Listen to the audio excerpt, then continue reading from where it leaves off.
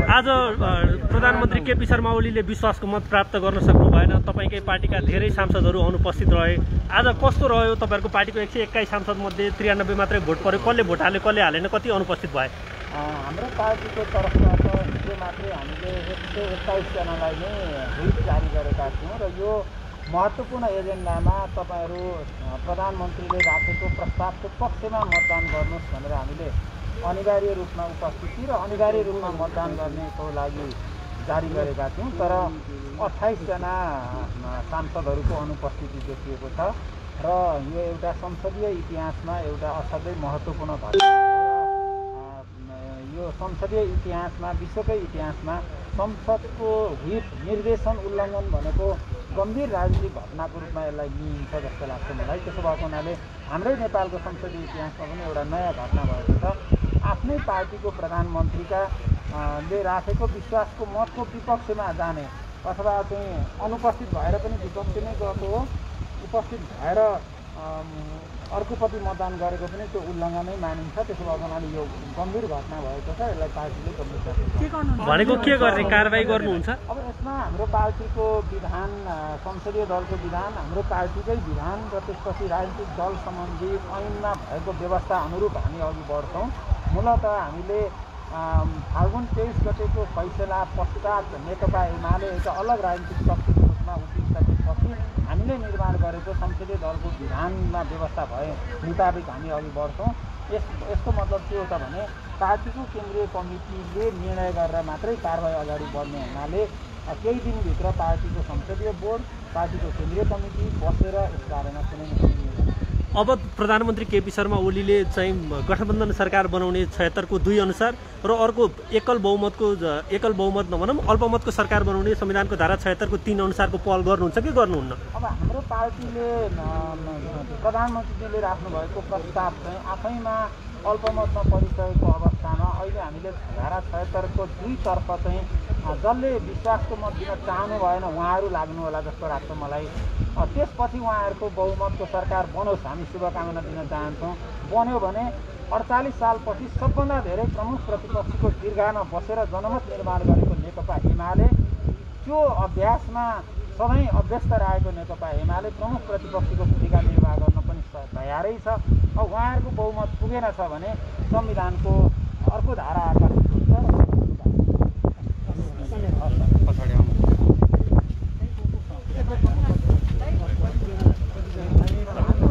नेपाली काङ्ग्रेसका सचेतक पनि आउँदै हुनुहुन्छ नेकपा एमालेका सचेतक हुनुहुन्थ्यो विशाल भट्टराई प्रमुख सचेतक हाम्रो उहाँसँग कुराकानी गऱ्यौँ नेपाली काङ्ग्रेसका प्रमुख सचेतक बालकृष्ण खाडा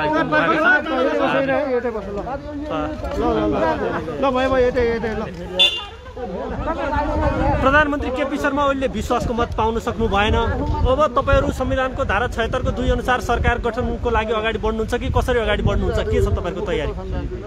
अब प्रधानमन्त्री केपी ओलीजीले राख्नुभएको विश्वासको प्रस्ताव चाहिँ अस्वीकृत भएको छ असफल भएको छ। अब प्रधानमन्त्री पदमुक्त भएको यो अवस्थामा अब Nepali Congress Nepal Communist Party माओवादी केन्द्र र जनता समाजवादी पार्टी नेपालका तिनजना अध्यक्षहरूले एउटा विज्ञप्ति अहिले जारी गर्नुभएको छ र त्यो विज्ञप्तिमा के भनेको छ भने प्रधानमन्त्री पदमुक्त भएको अहिलेको अवस्थामा सामान्य राष्ट्रपतिजीले अब नयाँ सरकार गठनको लागि संविधानको धारा छिहत्तरको दुई अन्तर्गतको चाहिँ प्रक्रियाको थालनी गर्नुपर्दछ भनेर हामीले चाहिँ हामीले निर्णय गरेको छ त्यो विज्ञप्ति पढेर सुनाइदिनु न के लेखिएको छ क- कसको हस्ताक्षर छ? अब संयुक्त विज्ञप्ति वैशाख सत्ताइस दुई हजार अठहत्तर। सम्मान्य प्रधानमन्त्री केपी शर्मा ओलीले नेपालको संविधानको धारा एक सयको उपधारा एक बमोजिम विश्वासको मतका लागि प्रतिनिधि सभा समक्ष राख्नुभएको प्रस्ताव संविधानको धारा एक सयको उपधारा तिन बमोजिम प्रतिनिधि सभामा तत्काल कायम रहेका सम्पूर्ण सदस्य सङ्ख्याको बहुमतबाट पारित हुन नसकेकोले सम्मान्य केपी शर्मा ओली नेपालको संविधान बमोजिम प्रधानमन्त्री पदबाट मुक्त हुनुभएकोले नेपालको संविधानको धारा छिहत्तरको उपधारा दुई बमोजिम प्रधानमन्त्री नियुक्त गर्ने प्रक्रिया प्रारम्भ गर्न सम्मान्य राष्ट्रपतिज्यूलाई आह्वान गर्दछौँ। शेरबहादुर देउपा सभापति एवं दलका नेता नेपाली काङ्ग्रेस पुष्पल दाहाल अध्यक्ष नेपाल कम्युनिस्ट पार्टी माओवादी केन्द्र उपेन्द्र यादव अध्यक्ष केन्द्रीय समिति जनता समाजवादी पार्टी नेपाल। जस्तो आज तपाईँहरूले एक सय छत्तिस मत आवश्यक पर्थ्यो प्रधानमन्त्रीलाई बहुमतका लागि विपक्षमा पनि एक सय चौबिस मत मात्रै परेको छ। यस्तो अवस्थामा तपाईँहरूले कसरी एक सय छत्तिस मत अर्थात् बहुमत पुर्याउनुहुन्छ?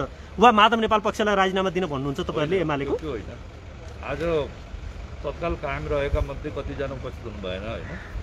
उपस्थित नभएकाहरूले पनि हाम्रो पक्षमा मतदान गर्नुहुन्थ्यो होला। एजम्सन पनि गरौँ एउटा। अर्को कुरा के भन्दाखेरि आज जति मतदानमा उपस्थित हुनुहुन्थ्यो बहुमतले प्रधानमन्त्रीको चाहिँ प्रस्तावलाई अस्वीकृत गरेको छ। त्यस कारणले केपी शर्मा ओलीबाट चाहिने यो प्रतिनिधि सभा अब उहाँ प्रधानमन्त्री नरो नरहनुहोस् नहुनुहोस् भन्ने नै चाहिने प्रतिनिधि सभाको चाहिँ चाहना हो। त्यस कारणले अर्को वैकल्पिक सरकार बनाउनको लागि हामी दलहरूले प्रयत्न गर्छौँ र अवश्य पनि अब हाम्रो प्रयत्न अनुसार चाहिने नयाँ प्रधानमन्त्री नियुक्त हुने हुनेछ बन्नुहुनेछ भन्ने हामीलाई विश्वास छ। जस्तो जनता समाजवादी पार्टीमा उपेन्द्र यादव र महन्त ठाकुर दुई धार देखियो एउटा पक्ष त आज तटस्थ बस्यो पन्ध्र मत। अब उहाँहरूलाई तपाईँले कुराकानी गरेर आफ्नो पक्षमा ल्याउनुहुन्छ कि कसरी अगाडि बढ्नुपर्छ? अन- अन्यथा तपाईँहरूलाई बहुमत पुग्ने देखिन्न। तिन दलको चाहिँ नि हाम्रो संयुक्त प्रयास हो। र तिन दलले नै हामीले सबैलाई प्रतिनिधि सभाका सबै पार्टीलाई र सबै सदस्यहरूलाई नयाँ सरकार गठनमा चाहिँ नि हामीहरूलाई सहयोग गर्नुहोस् नयाँ सरकार बनाऊँ र मुलुकलाई चाहिँ नि व्यवस्थित ढङ्गले अगाडि बढाउँ। संविधानको चाहिँ नि पालना गरौँ र संविधानको पनि रक्षा गरौँ र प्रतिनिधि सभाको पनि रक्षा गरौँ र जनताको जीवन रक्षा पनि गरौँ अहिले यो महामारीबाट। त्यस कारणले एउटा प्रभावकारी सरकार बनाउन सकियोस्। त्यसका लागि हामी सबैलाई अपिल गर्छौँ। अब देवजी के बोल्नुहुन्छ